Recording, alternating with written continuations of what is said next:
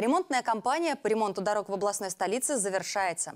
Если магистральные улицы усилиями администрации Твери и правительства Тверской области приведены в порядок, то, что касается придомовых территорий, там наблюдаются существенные проблемы. Кто и как должен осуществлять ремонт, выясняла наша съемочная группа.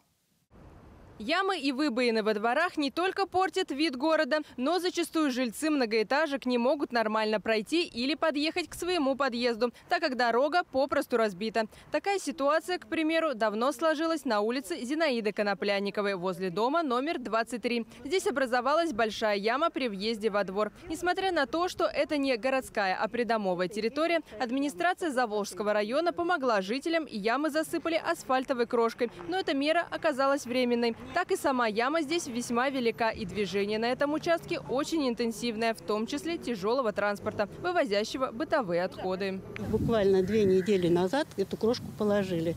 Яма уже за две недели по новой возобновляется. Как, и здесь очень глубокая яма, было не проехать совершенно.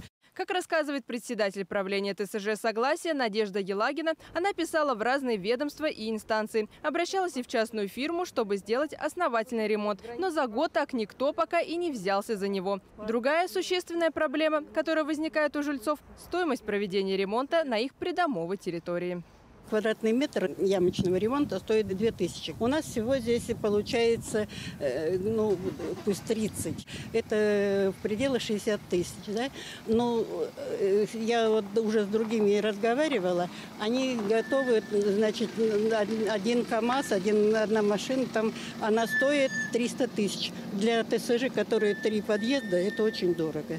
А это уже другой двор по улице Екатерины Фарафоновой. От дороги вдоль многоэтажки здесь остались одни дыры. Это связано и с тем, что автомобилисты используют этот путь для объезда при частом ремонте основной дороги коммунальными службами.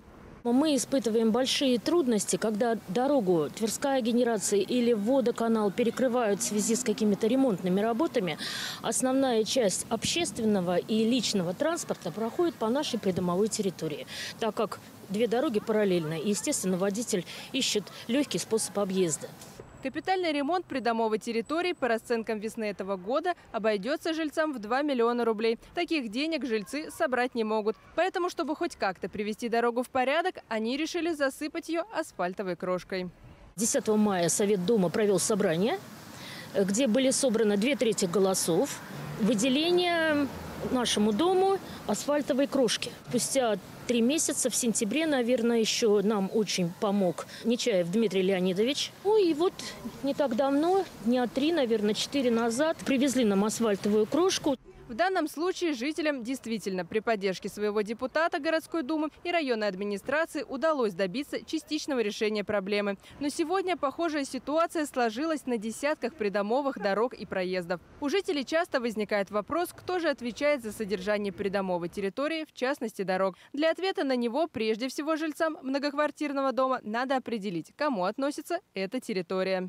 Дворовые территории они разделены на э, земли общего пользования и непосредственно дворовая территория.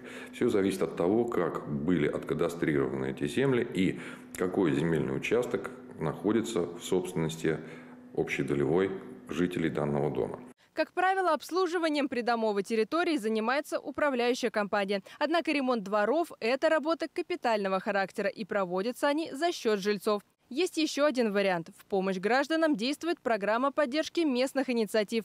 Жителям надо будет внести 10% от стоимости ремонта. Остальную часть оплатит из государственного бюджета. Для участия в программе необходимо обращаться в администрацию своего района. Администрации подскажут и дадут полное разъяснение, что необходимо сделать, какие провести общие собрания, какое количество денежных средств необходимо будет собирать, кто будет делать проект и так далее. После этого вместе с проектом и э, протоколами общих собраний документы отдаются в администрацию районов. А районы, соответственно, транслируют это в область и город э, с целью участия в конкурсных процедурах.